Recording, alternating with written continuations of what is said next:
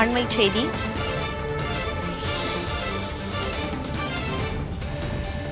கேரளாவில் ஒரு வழக்கில் பதினைந்து பேருக்கு மரண தண்டனை விதிக்கப்பட்டிருக்கிறது. அதனை அண்மை செய்தியாக பார்த்து வருகிறோம்.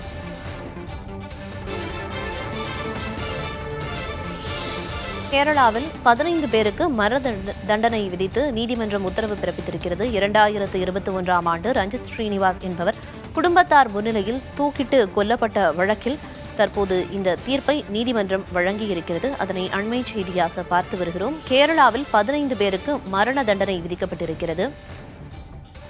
ஆலப்புழா நீதிமன்றம் இந்த உத்தரவை பிறப்பித்துள்ளது.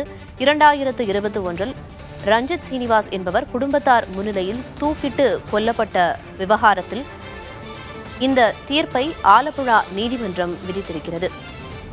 பதினைந்து பேருக்கு மரண தண்டனை விதித்து ஆலப்புழா நீதிமன்றம் உத்தரவை பிறப்பித்திருக்கிறது. அண்மை செய்தியாக பார்த்து வருகிறோம்.